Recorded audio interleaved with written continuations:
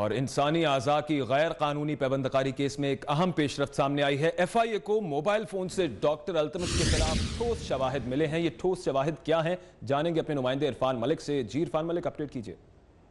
जी, बिल्कुल। F I ए की जाने से जो मुलजमान, जिनमें डॉक्टर अल्तमश और डॉक्टर फवाद शामिल थे, इनको गिरफ़्तार किया गया था और इनके मोबाइल फ़ोन का रिकॉर्ड एफ़ आई ए के साइबर क्राइम टीम ने हासिल कर लिया है, जिसके अंदर ठोस शवाहिद ये हैं कि डॉक्टर अल्तमश की कन्वर्सेशन जो है मोबाइल कन्वर्सेशन जिसके अंदर मैसेजेस थे, वो तमाम के तमाम रिकवर कर लिए गए हैं और इस मैसेजेस के अंदर ये चीज़ साबित हो रही है कि डॉक्टर अल्तमश किसी एक शख्स को जिससे वो मैसेज कर रहा है, उसके साथ मोबाइल फ़ोन के ऊपर रबता कर रहा है कि उसके जो रिसीवर है, वो तो रिसीवर को ये कह रहा है कि जो डॉक्टर जिसने सर्जन जिसने ऑपरेट करना है, वो इस वक्त मुल्क में नहीं है। जब वो वापस आएगा तो उसके बाद ट्रांसप्लांट कर दिया जाएगा। ये तमाम जो शवाहिद है, ये एफ़ आई ए ने साइबर क्राइम विंग की मदद से हासिल किए हैं और एफ़ आई ए का कहना है क्या तो डॉक्टर फवाद और एक और डॉक्टर जिसका नाम डॉक्टर सनाउल्ला है, जिसका मैसेजिंग के अंदर ज़िक्र है, उसकी खिलाफ भी कार्रवाई के लिए जो छापे हैं वो मारे जा रहे हैं और जल्द डॉक्टर सनाउल्ला को भी गिरफ़्तार कर लिया जाएगा। जी। ठीक है